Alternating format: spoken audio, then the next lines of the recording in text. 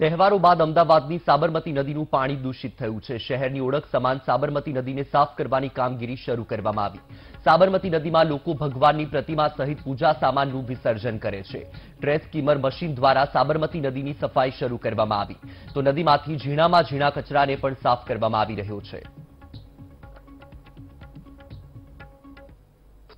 અમદાવાદ શહેરની શાન ગણાતી સાબરમતી નદી તહેવારોના સમયે જે પ્રદૂષિત થતી હોય છે, ત્યારબાદ તેને તંત્ર દ્વારા સાફ સફાઈ કરવામાં આવતું હોય છે અને જેને લઈને સાબરમતી નદીની અંદર બે ટ્રેસ્કીમર મશીન મૂકવામાં આવ્યા છે કે જેને લઈને આધુનિક મશીનની મદદથી સાબરમતી નદીનો જે કચરો છે તેને સાફ સફાઈ કરવામાં આવે.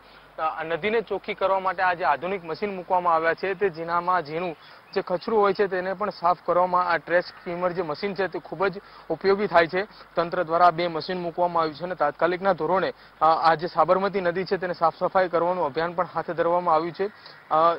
તહેવારો બાદ નદી સૌથી વધારે દૂષિત થતી હોય જેના લઈને આ મશીન મૂકવામાં આવ્યું છે અને મશીનમાં જે સ્ટોરેજ જે થાય છે, કચરાનું જે જમા થાય છે, તે તમામ કચરોનું જમા થયા બાદ તેનું ઠલવવામાં આવે છે, ડમ્ફરના મદદથી તેને અહીંથી નિકાલ કરવામાં આવ્યો છે. એટલે કે સાબરમતી નદી તહેવારો બાદ જે દૂષિત થઈ રહી છે તે દૂષિતનું ફરી એકવાર સાફ સફાઈ કરીને સાબરમતી નદીને ચોખ્ખી કરવાનું અભિયાન હાલ તો હાથ ધરવામાં આવી રહ્યું છે.